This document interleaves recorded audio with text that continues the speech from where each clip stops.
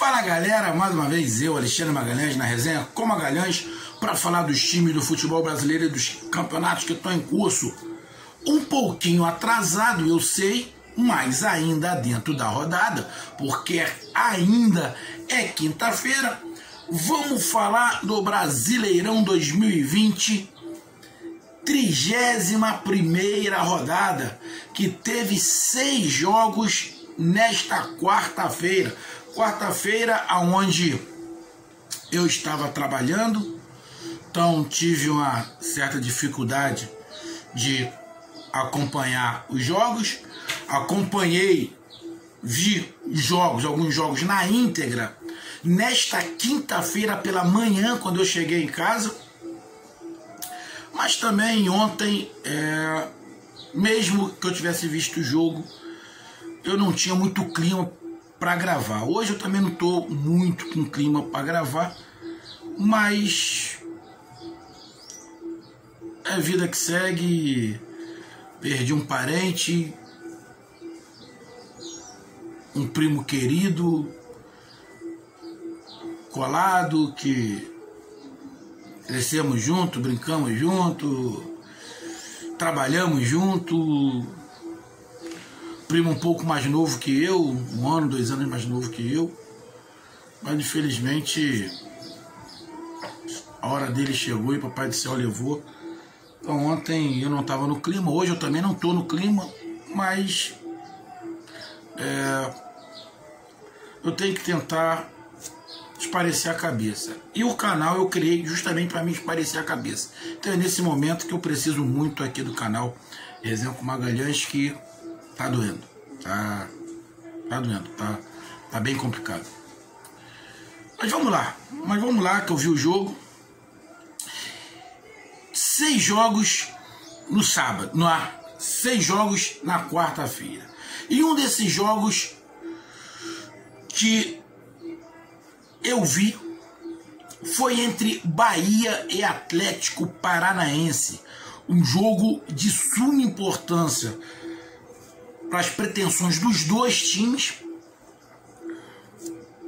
Ali, é, pensamentos diferentes. A do Bahia é permanecer na Série A, do Atlético Paranaense é tentar uma vaga na Libertadores, que eu já venho falando que para o Atlético Paranaense eu acho muito complicado pensar em vaga na Libertadores, é colocar um fardo muito grande nesse time do Atlético Paranaense, uma obrigação de chegar à Libertadores. É, eu penso que a torcida não deu fazer isso. Uma parte da torcida não está pensando assim, que eu sei, mas uma outra parte está. E eu acho muito para este time do Atlético Paranaense ter uma responsabilidade de chegar à Libertadores. Muito, muito. Para mim, o Atlético permanecendo na Série A como está e chegando na Sul-Americana já é o objetivo para o Atlético Paranaense. Não estou desmerecendo o Atlético Paranaense. Não estou desmerecendo. E o Bahia, neste momento, é, a sua única única missão é permanecer na Série A. Então, jogo importante. Times com desfalques, desfalques importantes, que mudaram um pouco a característica dos times. Para mim, mudou muito mais a do Atlético Paranaense. O Atlético Paranaense com as ausências mudou muito mais e isso prejudicou o Atlético Paranaense. Não estou desmerecendo a tática do Bahia, que eu vou falar também, mas o jogo foi Bahia 1, Atlético Paranaense 0. O Bahia não ganhava um caminhão de tempo. O Atlético Paranaense agora vem de jogos sem vitória também. Tem que começar a ganhar, ó. Tem três jogos o Atlético Paranaense não ganha. E o Bahia tinha, sei lá, perder de vista quantos jogos não ganhava. Então, é desse jogo aí, esta, este triunfo, acho que eu falei vitória, né? Foi mal o torcedor do Bahia. Foi mal, a cabeça não tá legal não. Esse triunfo do Bahia em cima do Atlético Paranaense que a gente vai falar. Então, eu peço que você curta, compartilhe, inscreva-se aqui no canal Resenha com Magalhães, dê o seu like, ative a notificação, coloque seus comentários, entre no nosso WhatsApp 022 9922 541512, que está aqui embaixo na descrição do canal. Se você quiser ajudar o canal a crescer também de azul, você pode se tornar membro. E se você quiser divulgar a sua marca, a sua empresa, o seu negócio aqui no nosso canal, entre em contato também pelo WhatsApp, que a gente troca uma ideia e é, eu estampo aqui a sua marca nos nossos vídeos. Então vamos lá para a vinheta e após a vinheta vamos falar desse jogo Bahia e Atlético Paranaense, triunfo do Bahia. Roda a vinheta.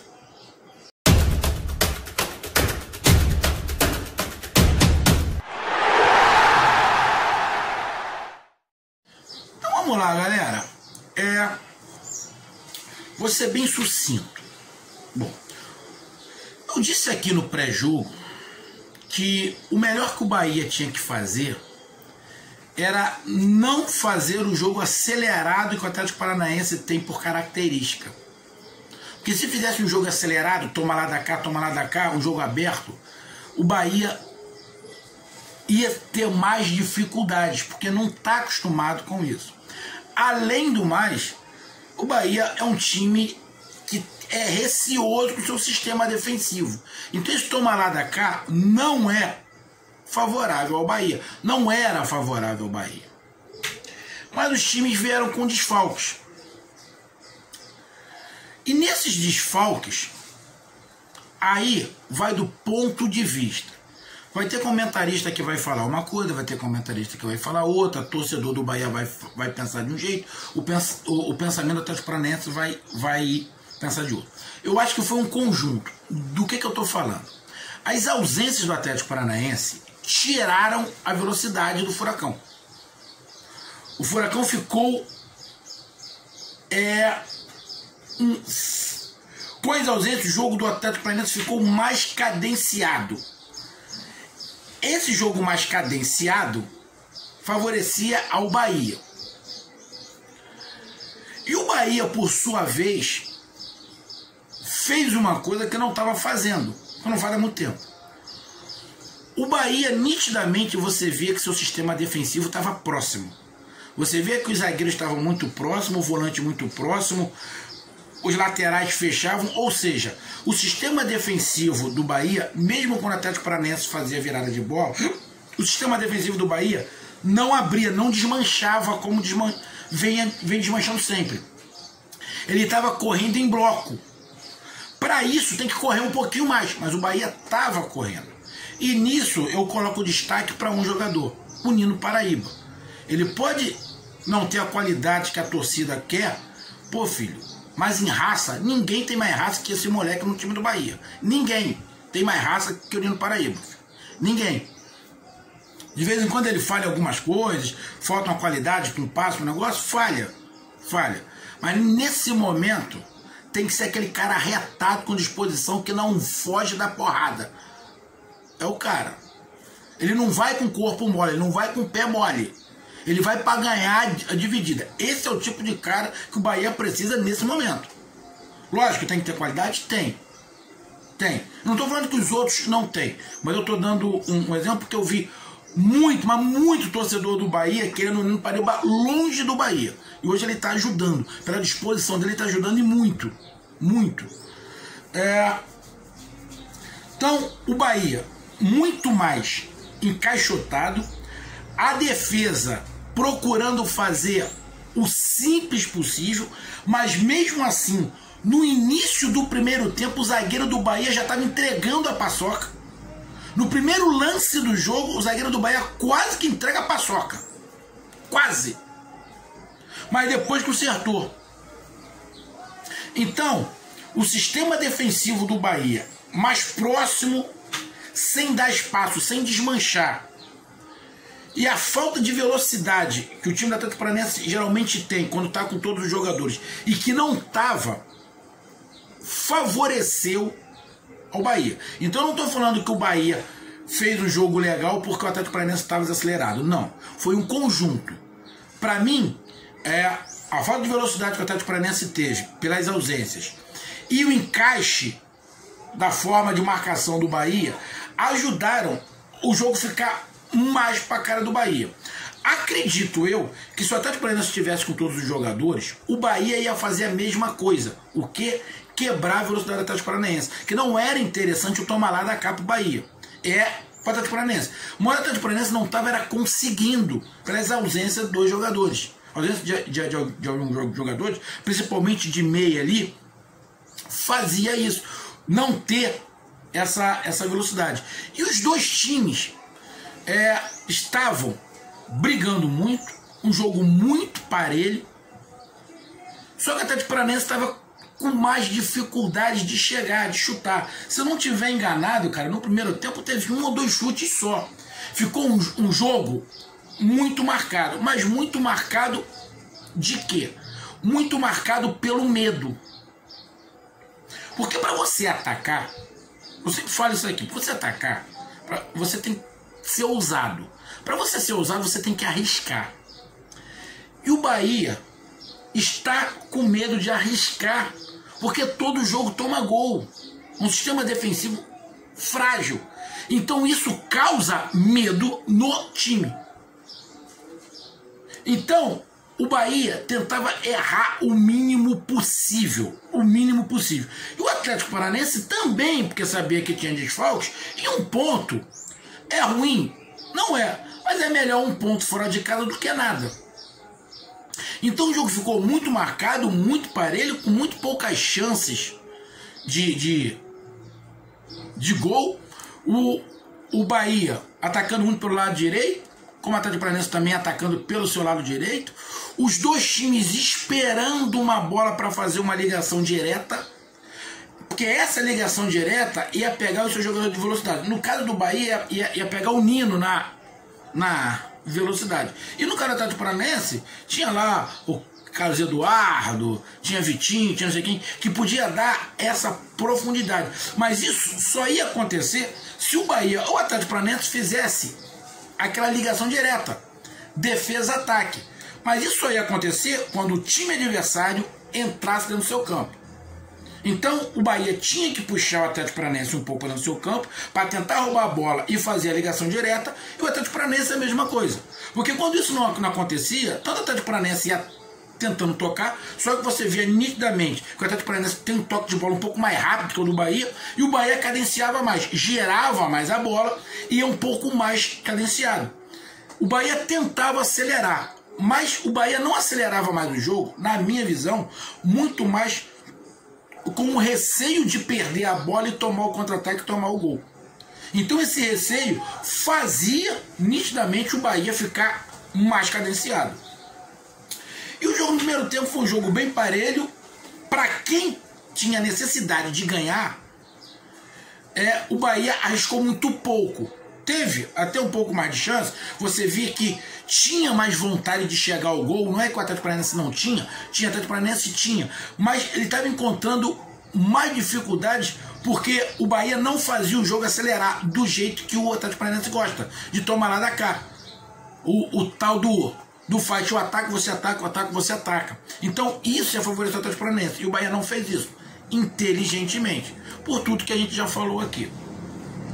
Então o jogo parelho termina 0 a 0 Vai para o segundo tempo. O Bahia tenta a mesma coisa, acelerar o jogo, mas não é, não é, é o formato que o Bahia estava conseguindo, por quê? Por mais que você, alguns não queiram, que eu, eu acredito que não tenha nenhum torcedor do Bahia que não enxergue isso, o Gilberto faz uma falta monstruosa no Bahia. Porque o Gilberto faz esse jogo ficar acelerado. Porque ele faz o pivô, ele abre para um lado, ele abre para o outro, ele dá a oportunidade, tanto do, do lateral cair pela ponta como cair pelo meio, ele dá a oportunidade do meio de campo chegar porque ele faz o pivô. E é um homem de área. Então, sem o Gilberto, essa velocidade até para o contra-ataque do Bahia ficou muito dificultada. Então o jogo continuou cadenciado. E o Atlético Paranaense fazendo seu jogo. O 0 a 0 naquele momento não era bom para ninguém, mas era muito para o Bahia. Então, o que, que acontece? O Bahia foi passando o tempo, foi passando o tempo, foi passando o tempo, vai, foi vendo que o Atlético Paranaense já tinha encaixado a marcação, o, o Atlético Paranaense já tinha visto que o Bahia já tinha encaixado a marcação e que estava faltando alguma coisa diferente, algum jogador fazer alguma coisa diferenciado para mudar o jogo. Eu vi ali alguns jogadores tentando passar por um, passar por dois, passar por três, mas do jeito que estava bem encaixotado, não tinha, nem, não tinha nenhum garrincha, nem no Atlético Paranense, nem no Bahia. Então, ia ser mais difícil. Para quem lembra, tá, voltando, voltando menos, né? Porque eu também não vi o Garrincha. Mas o cara que eu vou falar que eu vi jogar, infelizmente morreu muito cedo, porque se não morre muito cedo, talvez fosse um dos maiores jogadores do mundo. O Denner, jogou na Portuguesa de São Paulo, depois jogou no Vasco, aí morreu de acidente de carro. Não tinha nenhum Denner que driblava em espaço curto. Tinha velocidade e um drible fora do comum. E, para quem acompanhou mais, o Ronaldinho Gaúcho, que dribla em espaço curto quando estava no, no seu auge. Tem outros. Mas não tinha nenhum desses jogadores, nem, nem no Atlético Paranaense e nem no Bahia. Tem jogadores que, que tentavam o drible ali para quando está o Ramires, tentava o drible lá, lá pelo, pelo Bahia, mas muito pelo meio, aí fica muito complicado. Ele quase não cai pela ponta, ele é muito pelo meio, é muito centralizado. Aí tinha também lá pelo Atlético Paranaense o Vitinho que tentava, mas aí o Carlos Eduardo, mas precisa um pouco mais de espaço, são jogadores que precisam mais de espaço. E os dois times estavam tentando uma armadilha. A mesma armadilha. Qual era a mesma armadilha? A ligação direta. O Atlético Paranaense de vez em quando tentava essa ligação direta, como o Bahia tentava, tentou algumas vezes, como o Atlético Paranaense tentou. O Atlético Paranaense mudou, Bahia mudou. O Bahia muda e bota o Rossi. Que é o Rossi. Rossi. Vai ajudar aqui uma vez, vai ajudar outra. Nesse jogo ele ajudou. Por quê? Quando ele coloca o Rossi, ele tem, bota dois jogadores de velocidade pelo lado. Só que ele prende o Nino. Ele trava o Nino aqui atrás e solta o Rossi e puxa, na minha visão, é, com um pouquinho mais de é, é, segurança defensiva o Atlético Paranaense. Porque quando não tinha o Rossi e o Bahia estava marcando, o Bahia sabia que tinha que sair na velocidade para explorar a velocidade do Nino nessa bola direta. Só que se perdesse, tinha que alguém logo cobrir o Nino para não tomar a bola às costas. Quando você botou um cara de velocidade ali, o Rossi colado ali, ali com ele, o Nino ficou, ou seja, a linha de quatro ali ficou. Ficou travada. É, o Bahia tinha ali o Ramon, que joga, o Gregory, ali pelo meio, que também estava fazendo, tentava chegar, o Ramires, que, que tentava, tentava chegar, mas essa bola direta era para quem tinha velocidade. E é muito melhor pela ponta. No caso, o Nino. Quando ele coloca o Rossi, ele tem o Rossi para essa velocidade. E como é que sai o gol? Na ligação direta. Que o Bahia estava tentando fazer, mas não conseguia. Por quê? Porque o Atlético Paranaense não estava dando esse espaço. Como o Bahia não estava dando espaço para o Atlético Paranaense também fazer muito essa ligação direta. O Atlético Paranaense faz essa ligação direta, mas também estava sem espaço. Faz essa ligação direta, o Rossi pega a bola, leva para dentro da área, toca para dentro, o garoto vai lá, coloca o pé e faz 1 a 0 o Bahia. A partir daí, o jogo deu uma desnivelada. Desnivelada a favor do Bahia, porque o Atlético Paranaense sente o gol e dá uma caída. O Bahia melhora e poderia ter feito 2 a 0. Aí tinha matado o jogo de vez. Só que aí o Bahia não faz o 2 a 0. Parece que o Atlético Paranaense se recupera emocionalmente e volta a equilibrar o jogo. E até dá uma melhorada, porque o Bahia para de querer atacar. E começa a marcar. E não está querendo mais contra-atacar. Porque teve muitos contra-ataques no final do jogo que o Bahia parou, travou a bola. Muitos vão falar legal. Eu até entendo.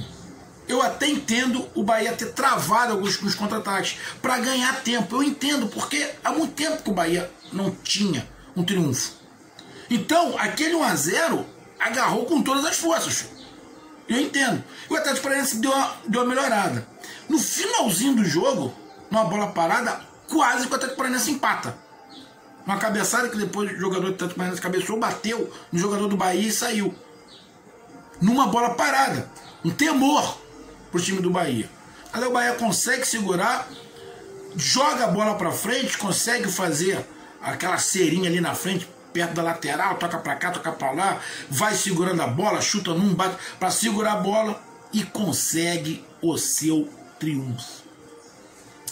Então, Bahia, depois de muito tempo, triunfa em casa, triunfa no Campeonato Brasileiro em si, sai da zona do rebaixamento, vai ter que ficar torcendo agora é, pro Fortaleza, torceu contra o Vasco, o Vasco tomou numa sapecada de 4 a 1 que eu falei que isso poderia acontecer.